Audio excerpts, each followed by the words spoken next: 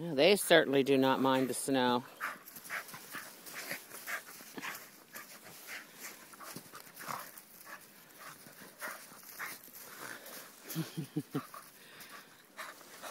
they haven't really been able to play much because Fiona's still a little in heat, but she's not in standing heat. Off of her, Alex! Although I would never leave them alone. Alex! She's just as soon humping him. What a riot you are, Fee.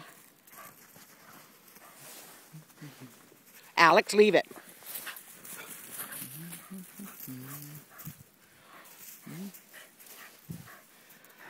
Alex.